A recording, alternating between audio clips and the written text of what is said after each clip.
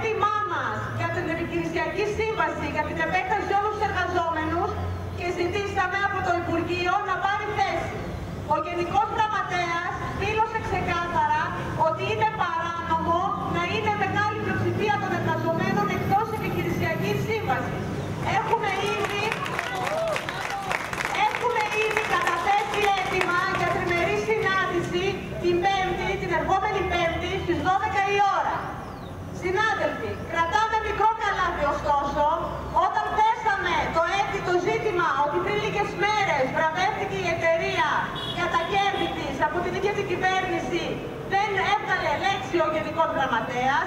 Παρόλα αυτά, εμείς θα, θα εξασφαλίσουμε ότι θα έχουμε πάρει όλα τα μέτρα, θα αξιοποιήσουμε κάθε μορφή, ακόμα και αυτή και την τριμερή συνάντηση, προκειμένου να ικανοποιήσουμε τα δίκαια αιτήματά μας.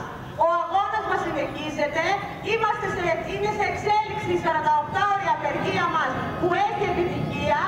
Αύριο, στο χώρο της εταιρείας, 9 η ώρα το πρωί, θα πραγματοποιηθεί συγκέντρωση με σωματεία του Πειραιά και διάφορες οργανώσεις που τη, που τη στηρίζει το Εργατικό Κέντρο Πειραιά.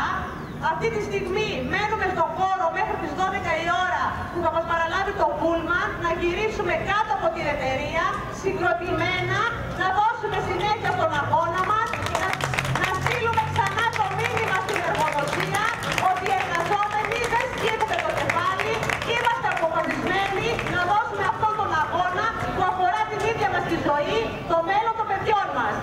Συνάδελφοι, δεν, και δεν υποχωρούμε στους εκβιασμούς.